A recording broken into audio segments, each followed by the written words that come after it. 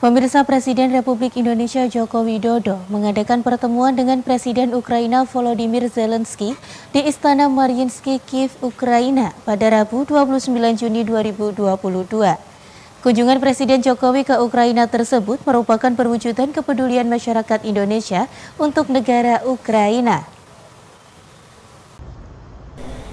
Presiden Republik Indonesia Joko Widodo mengadakan pertemuan dengan Presiden Ukraina Volodymyr Zelensky di Istana Mariinsky, Kiev, Ukraina pada Rabu 29 Juni 2022. Dalam pertemuan tersebut, Presiden Jokowi menyampaikan bahwa kunjungannya ke Ukraina merupakan perwujudan kepedulian masyarakat Indonesia untuk Ukraina. Saya uh, sampaikan ke uh, Presiden Zelensky bahwa kunjungan ini saya lakukan sebagai manifestasi kepedulian Indonesia terhadap situasi di Ukraina. Dari pertemuan bilateral tadi, saya ingin menyampaikan beberapa hal. Yang pertama, saya sampaikan kembali undangan saya kepada Presiden Zelensky eh, secara langsung untuk berpartisipasi dalam KTT G20 yang akan diselenggarakan bulan November tahun ini di Bali. Sementara itu, Presiden Zelensky menyampaikan apresiasinya atas kehadiran Jokowi ke Ukraina. Menurutnya, ini adalah kunjungan pimpinan negara Asia pertama ke Ukraina sejak invasi melanda Ukraina.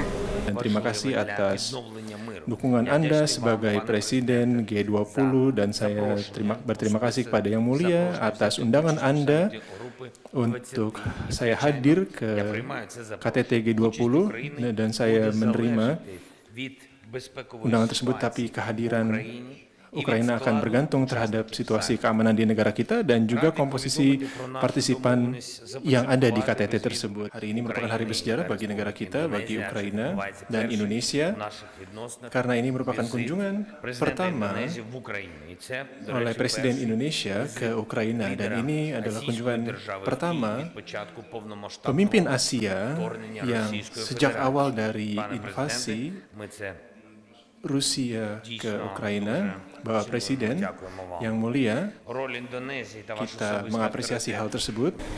Di kesempatan yang sama, ia pun meminta dunia memperhatikan Rusia, di mana negara itu wajib mencabut blokade terhadap pelabuhan Ukraina guna melanjutkan ekspor produk pertanian domestik secara penuh. Sementara itu, kedua kepala negara juga mengumumkan kesepakatan untuk meluncurkan rezim bebas visa antara Ukraina dan Indonesia. Zelensky menyambut baik hal tersebut untuk mendorong ekonomi, pembangunan sosial, pendidikan, dan hubungan manusia. Keduanya juga membahas prospek rekonstruksi pasca perang. Perusahaan Indonesia juga diharap bergabung dalam sejumlah proyek. Dari Kiev, Ukraina, Tim Liputan Madu TV mewartakan.